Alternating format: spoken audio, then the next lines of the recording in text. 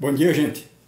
Rapaz, eu vou mandar um recado para esses bolsominions que destruíram Brasília no dia 8 de janeiro. Eu não gosto de animar muito vocês não, viu?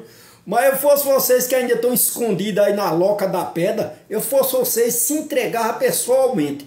Pelo menos diminuir um pouco a pena de vocês. Porque eu estava assistindo agora uma reportagem, eu vou te falar uma coisa. Esse Xandão é o fuim do mundo. Ele tá mandando buscar em um em um aqueles que pensam que já encerrou e acabou o caso. Eu tava vendo agora, ele manda buscar na região Nordeste, Minas Gerais, Goiás, aonde que ter que esteja para o Xandão tá indo buscar, pai. Esse Xandão não tem aparelho, não é o fuim do mundo. Eu imagino se não fosse Xandão após essas eleições aí. Então, Bolsonaro que ainda estão escondidos. Eu dou esse conselho, é melhor vocês se entregar, porque vocês vão ter que pagar a destruição que vocês fizeram em Brasília, de qualquer jeito, sabe?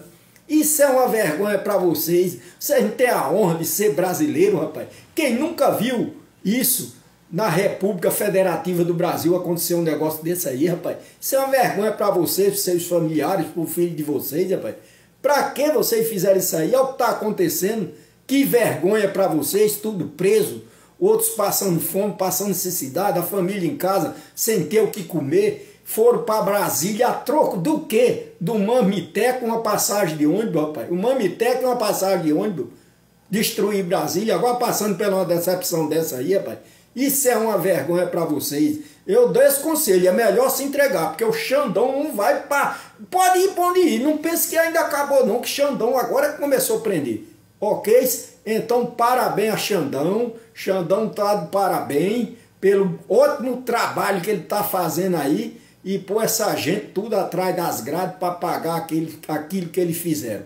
A única coisa que vocês têm que agora é mesmo vocês na cadeia estão presos, é vocês pedir perdão a Deus, pedir perdão ao povo brasileiro e pedir desculpa pelo que fizeram, tá? E é a melhor coisa. E pedir a Deus que Lula faça um bom governo, como está fazendo, como inicia o caminho para tudo dar certo. Entendeu?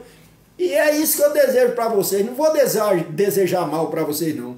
Eu só desejo que vocês lembrem que aqui na Terra existe um Deus existe um Deus aqui junto com a gente. Vocês têm que confiar em Deus, entendeu? Não em fazer esse tipo de baderna aí, porque isso aí é complicado. Isso é complicado para vocês e os familiares de vocês e a vergonha para nossa pátria. Então alguém, eu mando esse recado, que ainda estiver escondido, vai se entregar. Ok? Valeu, gente. Tchau, um abraço pro amigo Lambu Santana aqui do Paraná. Dá aquele likezinho, ativa o sininho e se inscreve no canal para receber mais informação desse pessoal que destruíram Brasília no dia 8 de janeiro. Porque eles vão pagar aos poucos, mas eles têm que pagar. Ok? Estamos juntos. De olho na democracia e nos políticos, hein? Uai, seu app de vídeos curtos.